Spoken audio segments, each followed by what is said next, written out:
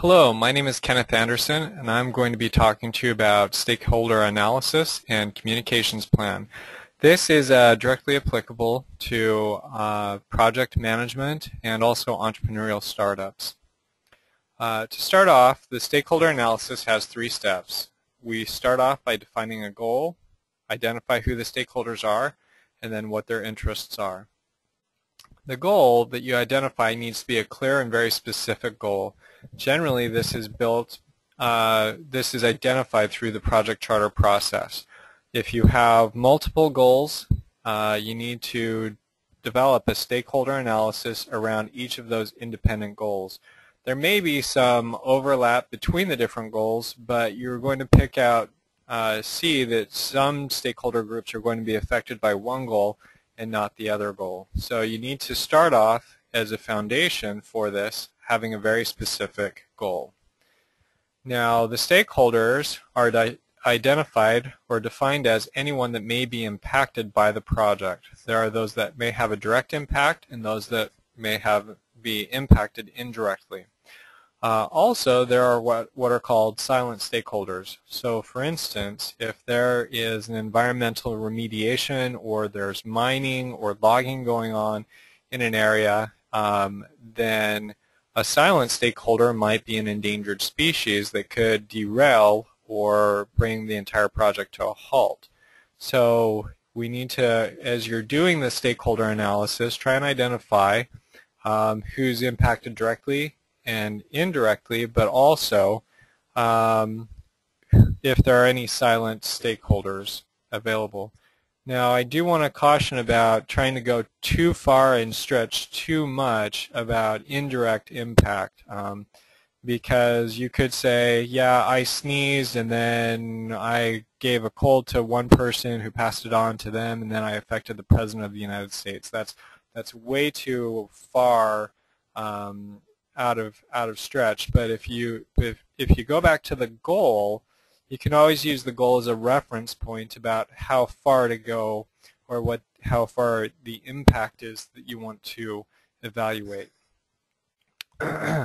so once you uh, once you have identified these stakeholders, and I, I generally recommend that when you're uh, creating a list of the stakeholders that you uh, you work in a team or work with somebody and you can uh, generate ideas or collaborate with somebody and come up with um, a much more substantial list of stakeholders that might be impacted than generally if you work by yourself. And this will go for also identifying the interests uh, and try and work in a team or in a group to come up with um, with them. And also recognize that you can continue to add uh, people to your stakeholder list as you continue to progress in your project or your startup and list out other people that may be impacted.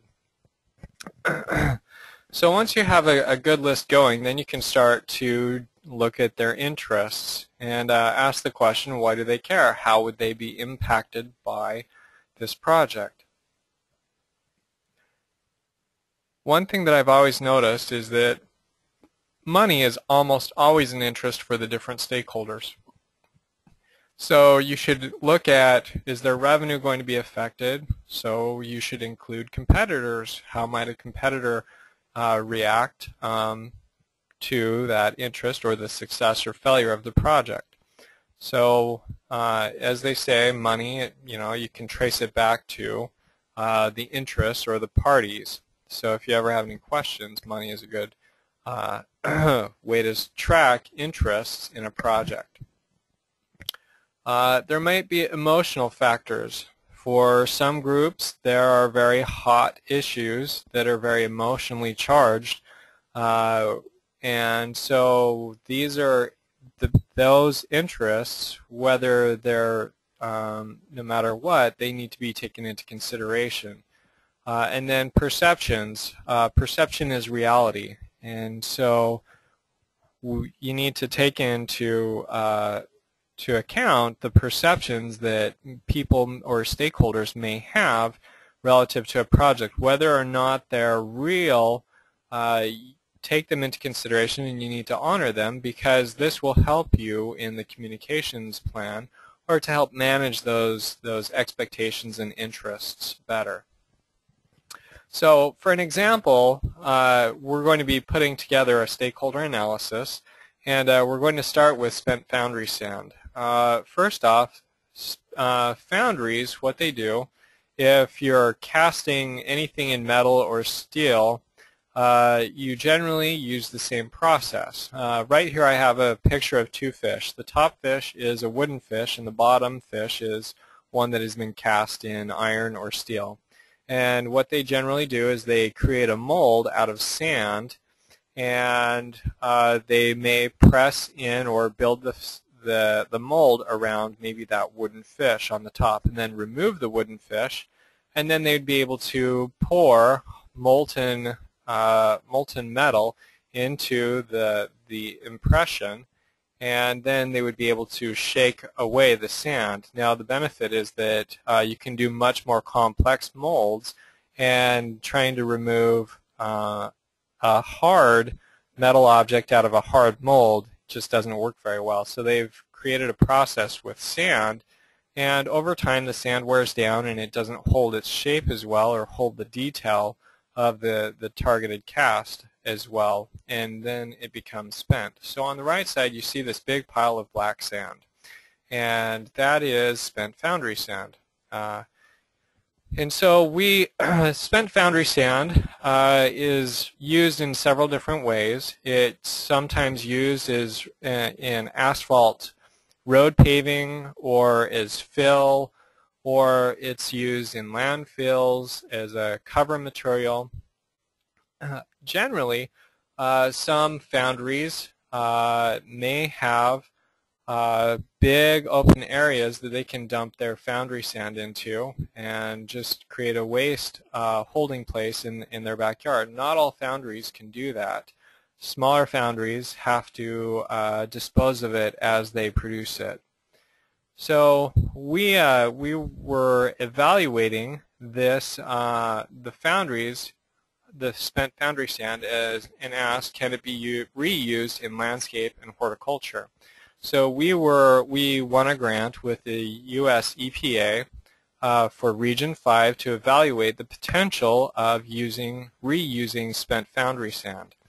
Uh, so we created a list of uh, different stakeholders who may have an interest in the project. You can see ourselves, and this work was done with the Ohio State University researchers, uh, the grant funding agency, uh, landscapers and users, golf courses, soil blenders, uh, uh some competitors, associations or societies, uh, and then sand dealers, a distributor. We needed to evaluate that, foundries themselves, and then uh, where does the sand come from, a sand quarry or sand miners, and then there are neighbors of foundries who are also impacted by the potential reuse of foundry sand. So we're going to go through some of the interests of some of these groups.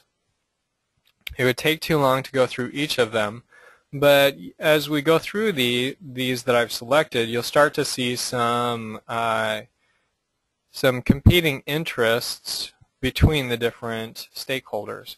So foundries, generally, they've had to pay to have this foundry sand hauled off and disposed at at a landfill. And so if there was a way for them to give it away and have maybe a landscaper come and pick it up, then they wouldn't have to pay for those disposal or trucking fees. So they would be able to reduce their costs and be able to save money or if they were able to even charge these landscapers to or soil blenders to get the foundry sand, then they might find a new source of income. So this made it very attractive to some of the different foundries. For the grant funding agency, Region 5 EPA, uh, they have an interest in balancing protection of the environment and public health with while encouraging reuse of materials. So the recycle, reduce, reuse, they were interested in supporting that effort. they also had an environmental stewardship responsibility that they needed to manage, and while this is considered industrial waste, it didn't it doesn't have any heavy metals, but they would have to be responsible for permitting it uh, or doing any permitting associated with it. So they had an interest in the reuse of spent foundry sand.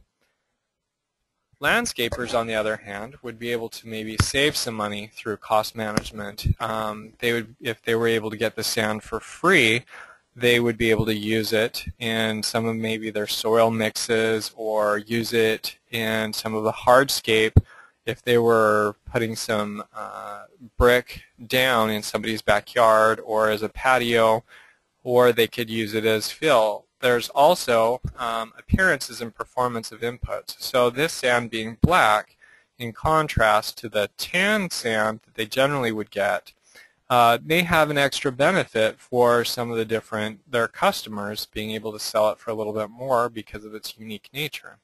Now one of the other things is that this has an odor uh, that may be unpleasant or smell chemically so some of their customers may disapprove of that smell or be concerned because of the smell. So they, these landscapers also had customers that they needed to be concerned about. Landfills, on the other hand, they had an interest in trying to still get paid to collect the, the spent foundry sand. Uh, by law, they are required to cover garbage after so many feet or inches of landfill that they acquire that they have to put uh, a layer of dirt over it. Um, and so uh, spent foundry sand was a naturally a good source or a good free um, cover uh, material for that. Uh, but diverting that out of landfills, they might be able to extend the life of the landfill. Uh, so whether they're increasing their revenue uh, by accepting it or whether they're extending the life of the landfill, uh, these may uh, have different interests depending upon each landfill. And uh, each landfill may have uh, use it for different reasons. The, the neighbors of foundries also may have had an interest. Uh, as far as not in my backyard, they may not like having the foundry next to them uh, because the foundry, it's an industrial uh, place and it's dirty. So one of the things that uh, these neighbors may have issue with is if the foundry is taking a, a scoop load of this spent foundry sand and dumping it into trucks, there's a dust cloud that's created and they have the perception that it's industrial waste uh, and may perceive that it has heavy metals because it's used in steel and iron castings. And whether that's true or not is up for debate and testing, but it may perception is reality. But this dust may float over the fence and get their homes dirty or or you know cause other other concerns about them breathing in the dust. So the neighbors of the foundry would have an, an issue if the foundry kicked up more dust than, than normal.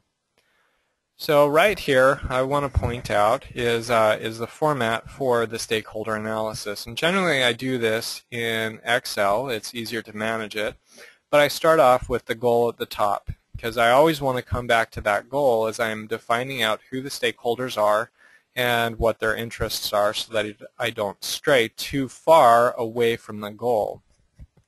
But you can see the stakeholders are listed down the left-hand side and their interests are uh, in the in the right column. But then what I've also been able to do is you can as you work on this and develop this further, you'll be able to create groups that have similar interests. So the end users with the maybe golf course builders, landscapers, uh, landfills, they may have some similar interests. The sales and distribution between soil blenders and sand dealers, they may have some similar interests. So as you do this, you can organize it and develop this uh, a bit more. And this leads us to the communications plan. Now, one of the great things about a communications plan is now that you've recognized who all of your stakeholders are and what their interests are, then you can uh, start managing perceptions or start managing these stakeholders in different ways. Uh, and it can be used to build a marketing plan so that you can interface with the different groups more effectively. Uh, maybe create some buzz around the activity that you're doing and uh, start to make some inroads into that industry or that marketplace. Uh, the communication plan also evaluates the frequency of communications. How so? How often do you need to relay information to them, or keep them updated with your progress? What information do you need to share? So you base this on, according to their interests, what they what part of the information because not every stakeholder needs to know everything that's going on. So if we go back to this stakeholder analysis, we can see that uh, the Ohio State University researchers, um, they they may be interested in uh, how update regular updates uh, to the progress of our project on spent foundry sand. Whereas in contrast, sand dealers or soil blenders, they just may want the final report. They also have a preferred communication form of communication, which may be an email, a phone call, an association newsletter, webinars, or there are many other ways to communicate or interact with different groups, whether it's social media or um, even even recorded uh, video presentations like this. And then one of the most important things is what is the expected result that you want to get out of that stakeholder group? How do you want them to react? How do you want to influence them? By defining that, you're setting a goal for how you want that group to react. Whether you want them to promote your product or whether you want them to talk about your product and create buzz or talk about your project. Uh, so this really evaluating and creating a communications plan can also reduce marketing expenses by by being able to tie into uh, different associations and share news and updates or leverage uh, public affairs by interacting with the media and having the media carry out your your news of interest. So right here is a uh, as you can see, we've taken our stakeholder analysis and we've built upon it with some additional columns. So you have your stakeholders on the left and then your interests right there. But in the middle, we've got our frequency and what we need to communicate, uh, whether it's a weekly update or a quarterly update or just their final report. Uh, we've also identified communication preference. Do we send them an email? Um, this is a, a, great way to identify who opinion leaders are within the within those uh, areas of industry or within those market sectors. Okay. Uh, communication preference. If you look uh, at the row of golf course builders, you can see that there's the CENTS Show, which is uh, an Ohio uh, nursery and landscape show that many golf course uh, people attend, or OTF, the Ohio Turfgrass Foundation, uh, that many of these industry people attend. Also, you can see the expected results, whether we, uh, we want to help fill out permits or increase use of foundry sand or use foundry sand, we, uh, we can start to say this is, this is the goal and where we want this stakeholder group to move towards. So I'm going to leave this with you, and uh, I hope this is helpful in thinking through some of the details of your project or your, your startup. Mm, thank you.